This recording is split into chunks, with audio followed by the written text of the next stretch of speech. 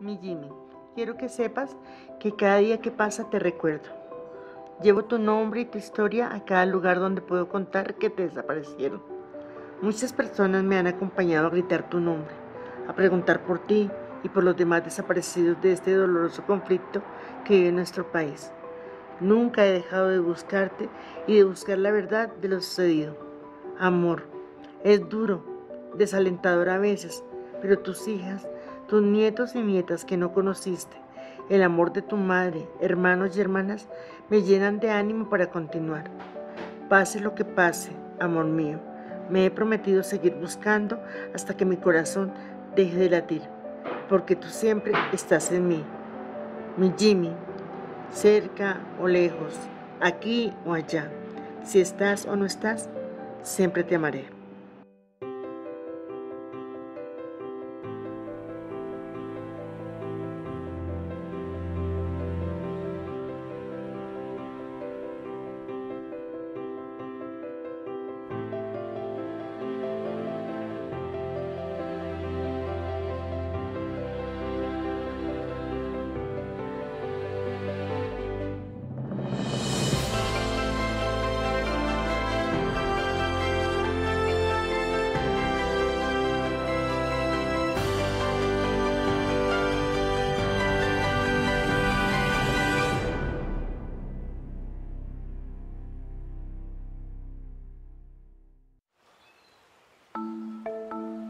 Nuris Angulo es la negra ardiente, una mujer lideresa en mi comunidad, luchadora, sobreviviente a la guerra.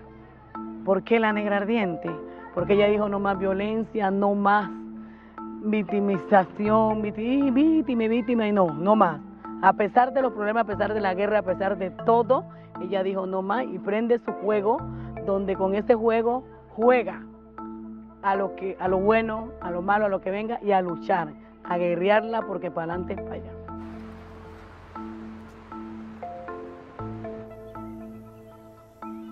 Yo tengo como casi 20 años de estar viviendo aquí en Cincelejo. Mi hermana tiene 12 años, o sea, los mismos que tiene de separada.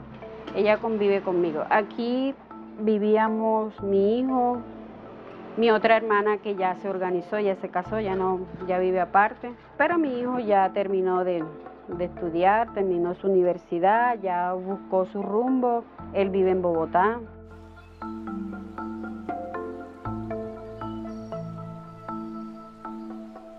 Paulina Maecha es una madre muy creativa que a raíz del conflicto me tocó cambiar mi chip por medio del arte para poder sanar la desaparición de mi hija, que voy a cumplir 16 años de que está desaparecida. Bueno, eh, con la señora Lucerito yo me conocí en el 2011. Ya el colectivo de las Madres de Soacha se había empezado a conformar desde el 2008 y a partir de ese momento entonces um, empezamos a compartir diferentes espacios de galerías, de performáticas y em, nos ha ido súper bien.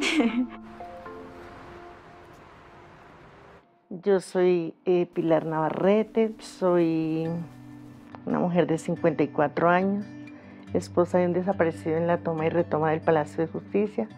Se llamaba Héctor Jaime Beltrán, le Jimmy.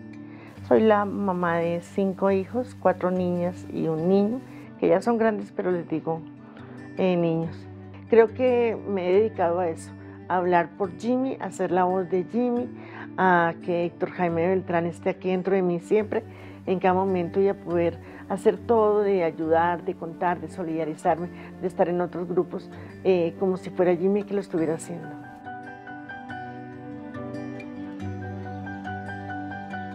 Cuando una persona desaparece en la comunidad del territorio es una angustia muy fuerte, que todo la vivimos día a día y no acaba, no, no, esto no termina hasta no haber encontrado. ¿Por qué? Porque nosotros en, el territorio diferente a la ciudad, por ejemplo, ustedes en la ciudad, si se muere alguien, lo, ven, lo velan en una funeraria. Acá no es así.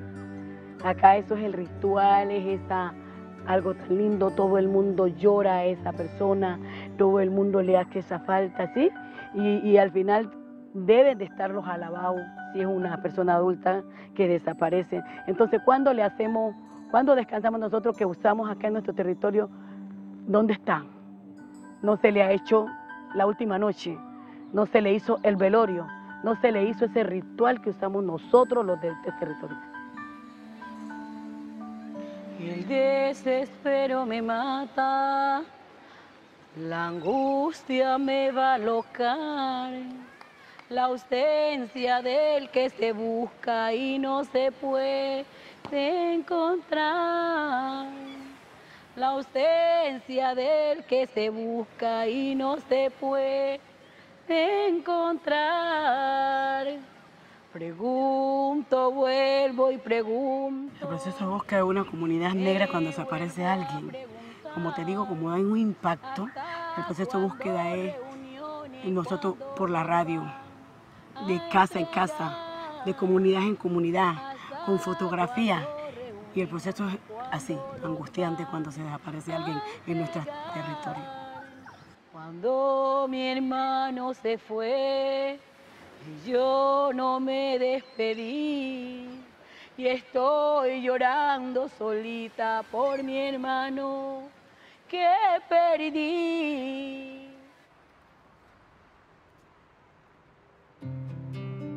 Mi papá cuando mi mamá murió, digamos que nos abandonó, nos dejó a la deriva. Yo, que era la mayor, tenía en ese momento 16 años, él se encargó de repartirlo.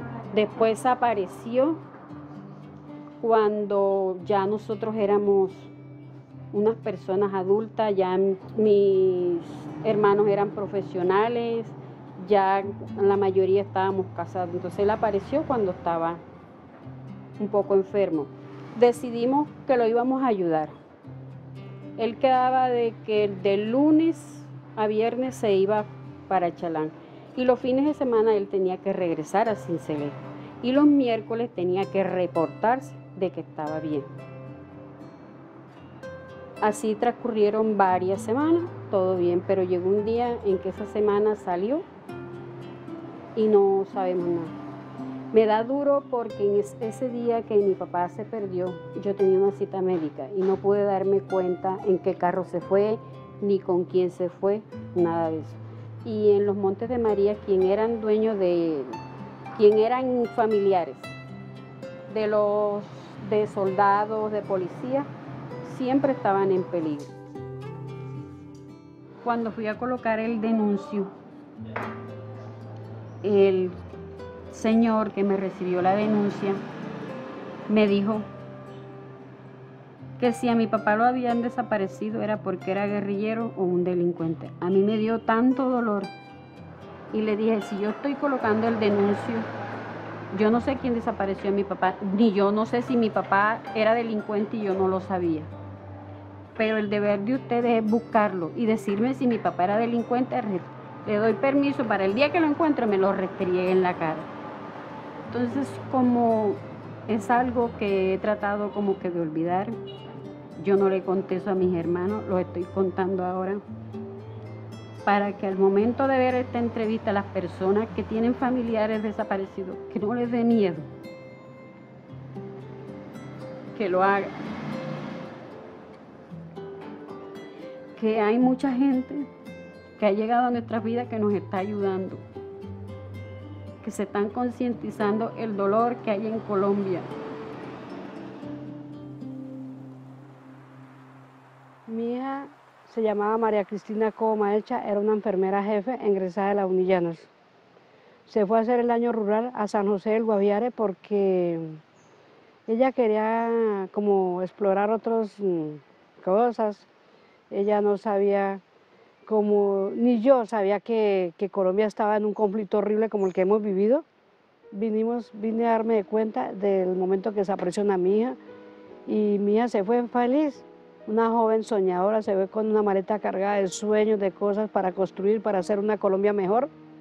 Ella la desaparecieron el 19 de abril del año 2004.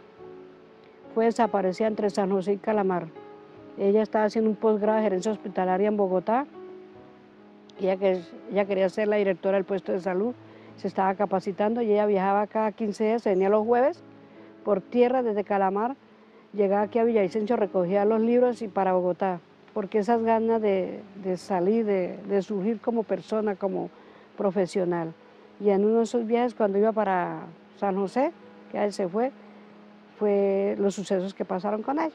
Yo me di cuenta que tenía que personarme, como decir, Paulina, aquí está Paulina, las cosas toca hacerlas diferentes. Me tocó averiguar, con ser, ¿cómo se llama eso? Cuando uno es investigador, tengo la declaración de los hechos, cómo pasaron, se habló con el paramilitar allá en el que fue torturada y que le quitaron las uñas con una ganzúa, que la, decían que era auxiliador de la guerra. Entonces vine a, personarme, fui, y ella me dijo, está bien, le dije, sí, estoy bien. Yo entré al bar y me di dos cachetadas y dije, Paulita, nada hice a quebrar con esos señores, nada de quebrarse. Y hablamos desde las 9 de la mañana hasta las 12 del día, supe más cosas, que ella como que la habían matado de Goya. Entonces, cuando salí a coger un carro para irme para el centro, sí lloré. Lloré mucho y dije, Paulita, Paulita, ¿qué hizo usted? El amor de una madre es infinito. Nosotros la madre es algo muy infinito y yo lloré mucho. Me fui por para una iglesia a orar en el Santísimo y todo eso. Entonces la doctora, la doctora Rosa María me dice, doña Paula, el tiempo que viene aquí en la diligencia me la pregunta, que él se quitó un peso encima cuando habló con usted y ahora puede dormir. Le dije, pero él sí puede dormir, pero yo no.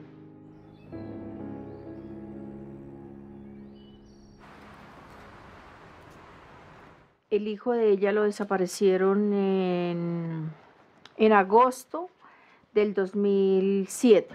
Cuando yo supe que estaba pues eh, con mi dolor y, pues el llorar, el preguntar con la señora Luz Marina, la señora María. Venimos al teatro y gracias pues que Patricia Ariza y Carlos Atizal nos han abierto las puertas y hemos hecho toda esta creación de obras, de pasarela. Antígona eh, griega es una mujer rebelde que se tiene que enfrentar a al gobierno, digámoslo, de esa época y enfrentarse a su tío y a su hermano eh, y salvar o darle mm, sepultura a su hermano Polinices. Polinices creo que es un reto que ella como mujer tenía que, que dar en ese momento y mirando la, la, trayectoria que ella tuvo, creo que Colombia eh, tiene muchas mujeres uh,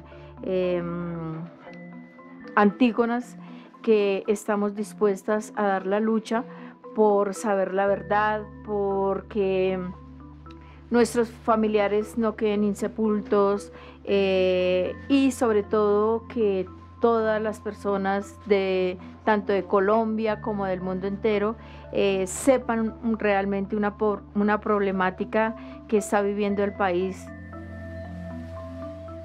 es que la búsqueda, cuando uno tiene una persona desaparecida, no se da cuenta cuando empieza. Primero porque uno cree que esa persona va a llegar al otro día, uno se imagina que bueno, que en 15 días, y más como se dieron los hechos como tal. Eh, uno cree que los están tal vez investigando jurídicamente, pero ya casi como a los seis meses cuando nos dimos cuenta que de verdad no había razón de ellos y cuando empiezan a surgir todas estas... Mm, como versiones de personas que estuvieron retenidas, pues empezamos a pensar si están desaparecidos. Yo no estaba mm, segura de qué era lo que le había pasado. Yo no entendía qué era la desaparición. Entonces para mí era frustrante ir a algún lado y que no llegara. También buscar entre tantos escombros y no encontrarlo. Entonces yo no entenderlo eh, me frustraba. Llegaba por la noche como con esa desilusión a ver las niñas y a decirles, hombre, no, no encuentro nada. Qué lindo día hace hoy, pero muy triste vivo yo. Hoy la tristeza me acompaña y a vivir en soledad. Para mí cantar es paz, alegría, tranquilidad. ¿Sabes qué más? Resistencia y respirar. Es respirar, es clamar, es decir mi verdad, pedir que nosotros trabajemos en equipo y que aparezcan. Cantando mantengo esa resistencia, porque mira que yo soy de las que pienso que cantar sana el alma. Yo compongo de lo vivido. Hay un tema de los niños que yo hice, eso lo viví. Dos niños murieron ante una granada. y hubo una injusticia que no lo dio al hospital y no fue atendido porque supuestamente él era, ellos eran los víctimas. Eh, ese momento, toda esa impotencia, de eso nace ese tema. Cuando empezamos a cantar ya para las víctimas, es desde el momento que nos organizamos como una asociación que viene Luz de Esperanza. Esta familia permanecíamos buscando, nosotros como te digo, de casa en casa, comunidad en comunidad. Pero en el momento que nos organizamos es que de cada asociación traemos a las personas que están en la asociación, por ejemplo. Si tú tomas fotos, hacemos el grupo de los fotógrafos. Si hay la modista, hacemos el grupo. Entonces ya llega el momento de las cantadoras. Entonces eso lleva dos años ya, para dos años apenas, ya cantando ya por lo que es víctima. Que si ha sido el culpable, de verdad yo lo perdono. No me importa si me ha herido, qué importa lo que han hecho. Lo que importa es que yo quiero otra vez hablar con él. La Tejedora es un grupo de mujeres. Eh, cuando empezamos el grupo, habían como 300 mujeres. Pero en sí, en estos momentos, el grupo está conformado entre 17 y 20 mujeres. Es un grupo de mujeres que han perdido a sus hijos, a sus esposos, a sus mamás, a sus papás como yo, a este comer. Y nos reunimos y poco a poco como que hemos ido minorando el dolor. Hay veces que nos da duro cuando tenemos que volver a revivir lo que hemos pasado. Bueno, esto es como, digamos como si fuera una fotografía, porque aquí sacamos los muñequitos por partecita, el cuerpo, las piernas, y lo empezamos a plasmar aquí en las telas. Los recortamos y después los pasamos al, al telar. Es como la historia de lo que nosotros hemos vivido. Aquí plasmamos lo que pasó con nuestros familiares. Entonces es algo muy bonito y a la vez muy relajante, es como una terapia, pero a la vez es recordar lo que pasó con nuestra familia. Es como si nosotros sintiéramos como que un alivio al plasmar eso aquí, pero a la vez es como que volver a pensar, a llenarnos de tristeza. En este grupo lloramos, reímos, pero hay veces, muchas veces la depresión a veces nos gana. Entonces cuando ve que la depresión nos está ganando, nosotras hacemos un alto y nos olvidamos de todo. He conocido mujeres que son berracas, que se mantienen en pie, que en determinado tiempo dejan las tristezas a un lado y nos colocamos la camiseta y seguimos adelante.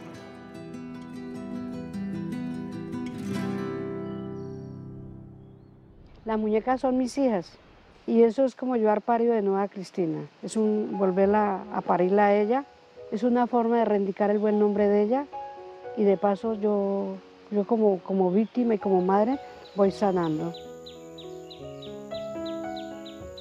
Tenía como unas cinco muñecas y las cargaba por ahí en una cajita y yo, ¿yo qué hago con esto? Porque yo, quería, yo estaba inquieta, pero yo decía, no sabía cómo. Yo dije, ¿qué hago con esta muñeca? Y yo dije, porque yo tengo, porque yo pensaba hacer una muñeca descuartizada, pero entonces como para mostrarle a la sociedad lo que pasó con ella. Entonces yo dije, hágale, las tenía ahí hasta que un día nos pusimos a hablar con mi esposo y dijo, ¿y cómo le ponemos a las muñecas? Eh, esposo, pongámosle las Cristinas del conflicto. Yo hablo con ellas cuando las estoy haciendo y yo le digo, y va a quedar más bonita y yo voy sacando y voy poniendo que los areticos, todo y yo hablo con ellas como si fueran mis hijas y, y siempre está ese espíritu de Cristina ahí en mí. Lo más difícil de hacer la muñeca es las, la ropa porque me toca echar cómo le voy a hacer el vestido, co- cómo le va a quedar. Todo eso lo hago yo pensando y cada día haciéndola bien bonita, poniéndola bien hermosa. María Cristina, mía, ella ha sido el motor mío de hacer, de todo. Es como ese espíritu de ella está en mí, como diciendo mi mamá, no sé qué, callada, denuncie. Es el motor mío y por eso yo la hice a ella así delgadita porque ella era flaquita. Que recuerdo, Cristina, muchas cosas porque ella era una niña muy conmigo, muy entregada. Éramos amiga, mi parcera, todo. Era, era todo para mí. Y con la desaparición de ella, le cortaron las alas a ella y las mías también. Con la muerte de ella, pues quedé como cuando un pajarito le cortan las alitas y no puede volar. Me ha tocado volar con la memoria, con las muñecas. Ese es, la, ese es el, lo que me ha dado a mí ese aliciente para yo poder vivir con la muerte de mi hija. Bueno, a mí me ha gustado desde pequeña el teatro. Yo recuerdo que iba a tener tres años y me llevaban a un teatro justo en este barrio donde vivo que se llama el Teatro de Don Eloy, a ver en Semana Santa eh, las pasiones de Cristo. Y entonces todo eso me hacía sentir como que era una manera hermosa de ver las cosas en vivo. En el colegio, pues en el colegio empezar a hacer un poquito de eso, también era bastante chévere poder hacer teatro y eh, hacer algunas obras o cantar o hacer poesía del indio Rómulo, que era el boom de la época. Pero también por medio del teatro conocí a Jimmy, obvio, ¿no? Últimamente, eh, no sé por qué las cosas se dieron por eh, cosas de teatro y de, y de visibilización por medio de, de performance, entonces participando como en varios proyectos en los que los, los grupos en los que yo estoy pensamos mm, hacer eso poder proyectarnos por intermedio de puestas en escena. Entonces son ensayos, es llevar los proyectos, comprar las cosas para las personas que vienen a ensayar aquí a mi casa. Eso, hago todo eso. En el 2013 surge una obra que era la representatividad de la mujer campesina, de la mujer eh, afro, indígena, eh, raizal, palenquera, que sufren en las regiones y que nosotras realmente en una ciudad no conocemos ampliamente lo que está pasando allí, pero eh, vemos que en la obra están los terratenientes que violan y vulneran los derechos a, esta, a las mujeres y luego las desplazan a sus de sus territorios. Y ahí es donde surge mm, Antígonas eh, y Darte saca una propuesta de una fusión entre mm, actrices y víctimas y de ahí surge Antígonas Tribunal de Mujeres.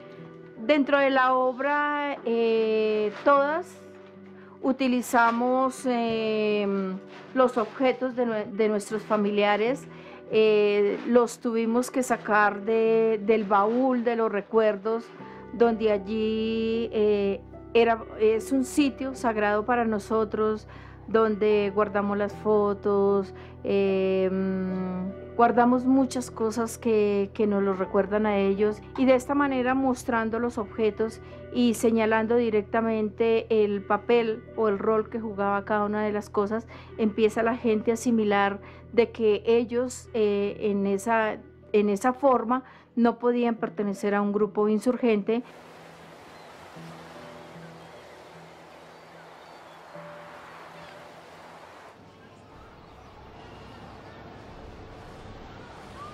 A mí me hace feliz cantar. ¿Sabes por qué? Porque cuando expreso el canto, soy feliz, respiro, eso me hace feliz. el arte, el arte es vida para mí. Vida, alegría, reexistencia. Porque con el arte yo hablo en especial lo vivido y lo que me pasa.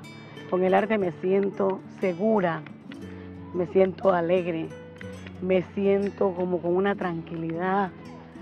Y arte, terapia. Bueno, yo soy una total convencida de que el arte eh, cambia la, forma de ver las problemáticas del país. Por mucho tiempo nos, mm, Acostumbramos a ver sin que eso delegitime eh, la forma de hacer historia a las víctimas contar yo soy tal persona y tal vez las víctimas pedir y tal vez las víctimas llorar, pero también cuando las víctimas escribimos un libro, tal vez cuando las víctimas hacemos nuestras notas, hacemos una obra de teatro porque no pintamos, porque no nos sembramos en tierra como en cuerpos gramaticales, son formas de hacer arte y ese arte cambia la forma de ver a, a la persona del común a las víctimas, ya recuerdan, ah, claro, los que se sembraron son los de la Comuna 13, ah, las que hacen la conmemoración cada año, que es una forma de hacer arte, como nos lo planeamos todo, que si hacemos unas carpas, que si hacemos unas velas, todas estas cosas hacen que nosotros los, los las víctimas seamos vistas de otra manera. Es por esto que, que yo creo que el teatro, la pintura, la escritura, los performances, todo eso ha cambiado la forma de ver eh, a las víctimas de este país. El arte que nosotras las mujeres, tejedoras de la memoria, tenemos para plasmar nuestras tristezas, nuestras alegrías. En mi caso, me sirve como terapia y en estos, en estos momentos es mi, mi fuente de trabajo. Y cada vez que hago algo me siento feliz, muchas veces me siento triste, pero me llena. Y así como me llena a mí, le llena a mis compañeras cuando ellos están plasmando sus historias, lloramos, reímos y nos fortalece cada día más.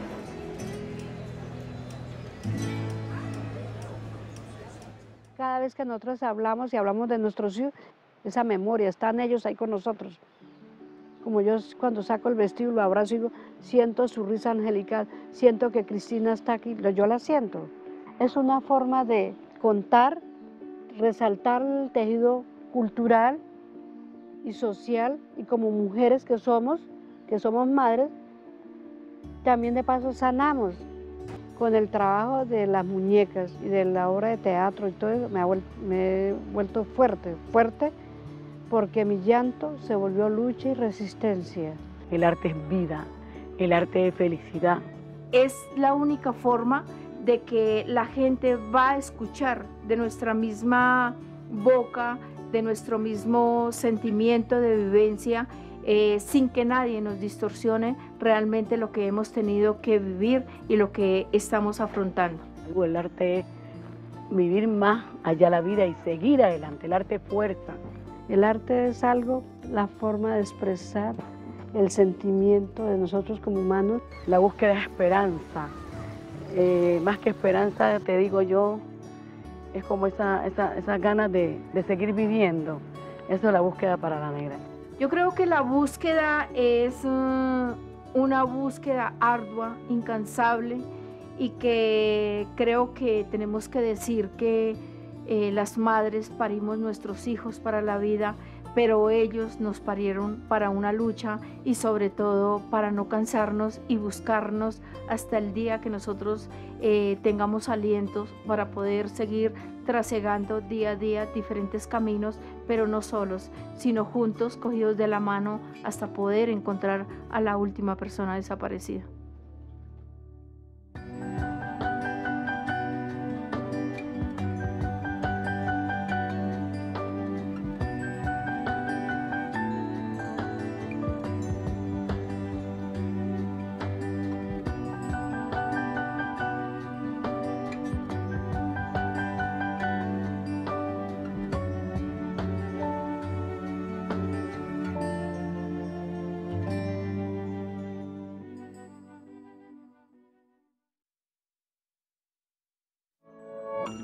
La Unidad de Búsqueda de Personas Dadas por Desaparecidas es una entidad de carácter humanitario que busca a las personas desaparecidas antes del 1 de diciembre de 2016 en el marco del conflicto armado.